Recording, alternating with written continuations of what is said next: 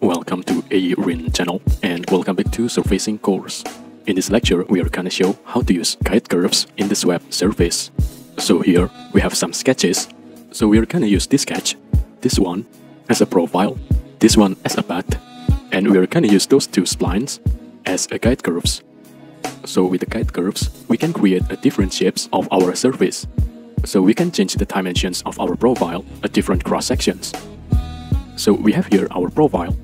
And here, if we use these, in these guide curves, we are gonna have a different cross section. So the dimensions of this profile will be changed. So let's show how this works. So let's go to Surfaces tab. And here we have Swept Surface. So we are gonna use a sketch profile.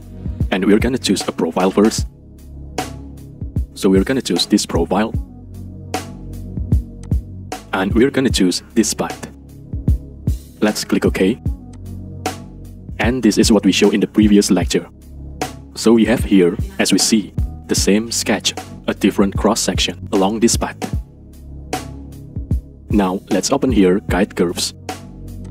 And here we can choose our guide curves. We can choose one guide curves or more. So let's choose these guide curves.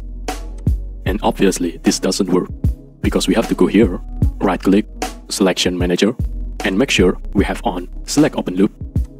And now we can choose our guide curve and click OK. And now we see that our surface automatically changes the shape. Now we can also add this guide curve. So let's go here, right click, selection manager. Let's choose this guide curve and OK. And now we have something like this. Now we see that this profile at the beginning is not the same profile here. So here we have show sections. So we can increase this. And now we can see how our profile changes on different cross sections. So we see that profile has one dimension here and has different dimensions here. Another thing, if we look at our guide curves, and at our surface, we see that our surface goes to the end of the shortest guide curve. So here we have a path, and here is the endpoint of this path. And here we have the first guide curve, this is the longest guide curve, and here is the endpoint. But our profile goes to the end of the shortest guide curve, as we have here. So keep that in mind. Now let's click OK. So this is the simple way how we can use guide curves. Now we have a similar sketch here. Now let's try to create a surface here. So let's go to Swept Surface. Let's choose this profile. And let's choose this path. Let's click OK. And now we have something like this. And now let's add our guide curves. So let's right click here, Selection Manager. We have Open Loop and let's select this one. And click OK as this is not possible. So, but this is similar as before, and here is not possible.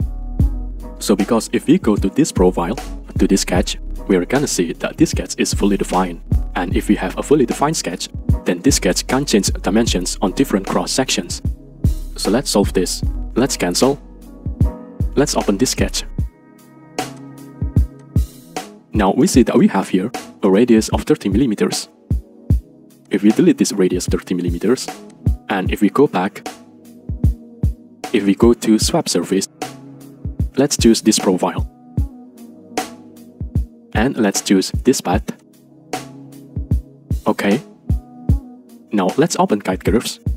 Right click Selection Manager. Let's choose this one as a guide curve. And okay.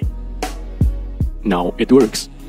So remember, if we use guide curves, our profile can't be fully defined because then our profile can change dimensions on different cross-sections. Let's click OK. And let's go to Surface Sweep 1. Right click and let's delete this. So now we're gonna try to use this profile, this path, and this spline here as a guiding curve. So let's go to Swept Surface.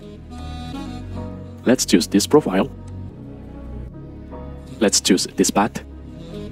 Okay. Now let's go to guide curves.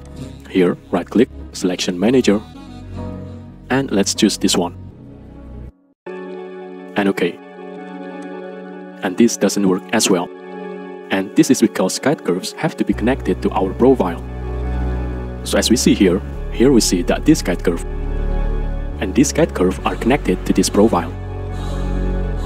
And we see that the path is not connected, because path doesn't have to be.